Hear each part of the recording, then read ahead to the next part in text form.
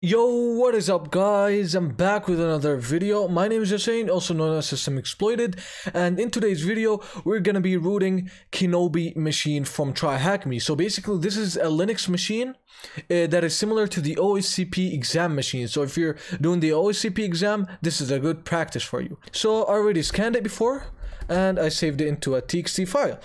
So this is the in-map scan that we got. We got multiple open ports. So the first port that we got is FTP, then SSH, uh, FTP with the Pro FTPD version 1.3.5. This will come in handy in a few. And we got port 80, port 111. This is uh, this will come in handy too. Port 139, 143, 445 SMB shares and multiple other ports. Let's go back to the machine in here. So scan the machine with Nmap. How many ports are open? One, two, three, four, five, um, six, seven ports. So basically seven ports are open. Let's move on to task two. Now we're gonna enumerate SMB shares. So basically, uh, it, it will tell you how uh, you can enumerate these SMB shares, but I'm gonna simply do use the SMB client minus L, one, two, three, four, and our variable, one, two, and let's enumerate them shares.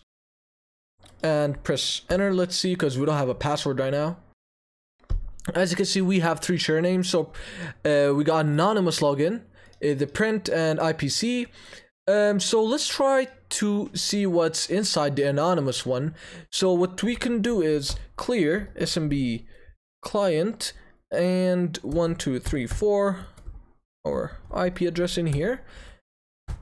Anonymous. Let's view the anonymous share. Basically the anonymous share will have some interesting stuff for us. So let's just wait for it until it finish Alright guys, as you can see, got into the anonymous share. So now if we do dir, as you can see, we got a log.txt file. So let's download it on our machine by using the get command uh, log.txt. Alright, we have got it. So now what we can do is exit, clear, and cat the log.txt file.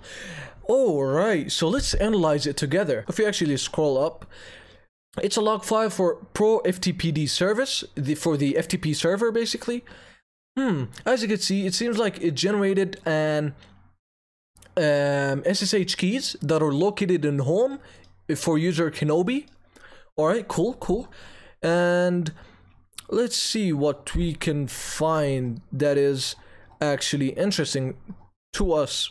Anonymous login, the path for it is home, Kenobi, and share. So what we could do is see if we can mount any directories. So let's clear this out. So now what uh, we can, you can answer. So once you're connected, list the files. As you can see, we connected to the SMB client. We got a log.txt file. Uh, there's another method of downloading the file by using SMB get. What port is FTP running on? We already know that, port 22. All right, so now we're gonna enumerate uh, the RPC uh, bind service. So now we're gonna use an nmap, uh, the nmap scripting engine. Uh, let me just copy this command for us. So basically, now we're gonna see the available files to mount. All right, so I'm just gonna paste it right here. And, and I'm just gonna change the IP address a little bit in here. Just specify the IP address. IP and I'm just gonna add uh, an extra argument in here which is minus PN and press enter. Let's see, let's just wait for it to finish. As you can see, we can mount the var directory. Let's go to task three. All right, so uh, here it's talking about pro FTP, uh, FTPD, uh, the server it's talking about it so what version is it we already know that from our nmap scan it's version 1.3.5 and now we're gonna use search exploit and search it up uh 1.3.5 let's see what we get Alright, so basically search exploit is the command line tool for uh, exploit DB. As you can see, we got um, three exploits. So we're interested actually in, in this one, the mod copy exploit. So this allows us to copy things. Alright, so how many exploits are there for the pro FTP, uh, FTPD uh, running? We got, we got three exploits found. And we, uh, like I said, we're interested into uh, in the mod copy module. So basically, the mod copy module implements site cpfr and site cpto uh, commands. Now what I'm gonna do is clear. We're gonna exploit the pro ftpd mod copy module. So the mod copy module uh, allows us to uh, copy things all right, so now the first thing uh, that we need to do is connect to the FTP server. I'm gonna use netcat to connect to it and 21. So now I'm, I'm gonna use the uh, site. Oh, it's capitalized site cpfr from home kinobi dot underscore rsa. So now we're copying the uh, ID RSA keys um, and we're gonna copy them to the um, var, the directory that we can uh, mount id underscore rsa.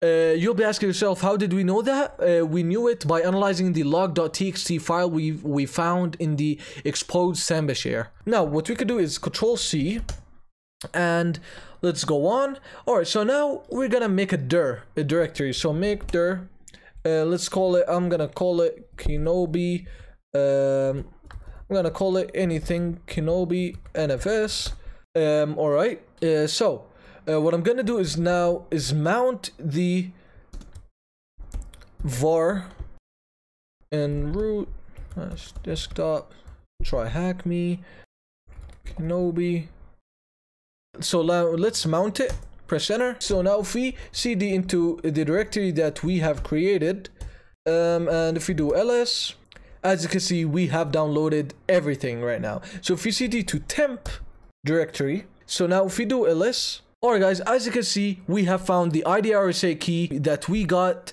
from the uh, the mod copy exploit. Now we're gonna use this IDRSA key to get uh, in through the SSH service as the Kinobi user. Now, uh, what I'm gonna do is the following.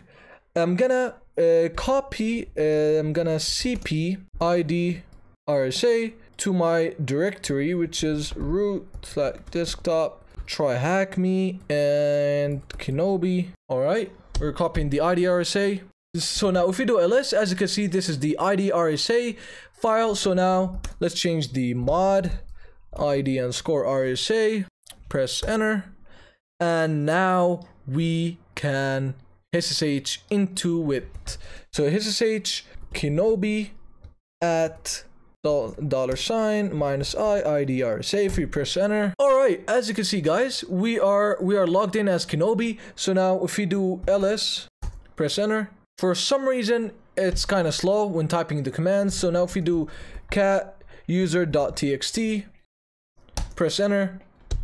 And this is our user flag. So if you submit it in here we have successfully got into the machine. So now we're gonna privilege escalate with path variable manipulation. So basically here it explains what path variable manipulation is, what SUID is, SGID and sticky bits are. Alright, so now we're gonna use this command to search for uh, the to search for the system with these type of files. So let's press let's paste this command in. Alright, so this right here, this file right here is kind of sketchy because these files are normal. Uh, how did I know that sketchy? Through experience, uh, you can run this command on, on your own system and compare the results. And you'll find that this file is sketchy. So, so let's, before doing anything else, what file looks particularly out of the ordinary? User bin menu. Uh, so now let's run it. And, oh, as you can see, this is a binary. So let's, for example, check the kernel version. Press enter. Oh, we got our kernel version. All right, cool. So how many options appear? So we got three options, the fconfig, kernel version, status check, and so on. Let's clear the terminal. And now we're gonna use a string, uh, the strings command. Most of you should know it. And let's see the strings inside this file. I'm gonna paste Alright, alright guys, so basically what we could do right now, um, we can manipulate the um, uh, the variables because it's running curl without specifying the full path, which is which, which might be uh, which is exploitable. So Alright, so what we can do right now is um, we can manipulate the path to gain a root shell. So what we can do is cop, uh, make make a shell, echo, um, bin, sh, and we're gonna make a binary called curl, and we press enter. Alright, so now I'm gonna change the mode of it, 777. Alright, so now um, what I'm gonna do is make it as an executable. Alright, so now what I'm gonna do is export path equals t tmp and variable path and we can press enter. Alright, so now let's run the executable. Now what is left is run the executable. If we press enter, it should run. And if you choose the first option, which is a scroll, press enter. As you can see, we are root. So who am I? Press enter. So, as you can see, we are root. So now if we do cat and we'll get the root flag. It should appear. As you can see, this is the root flag. I really hope you guys enjoyed this room. I hope I can see you guys in into the next video. It's been Hussein and I'm out guys. Peace.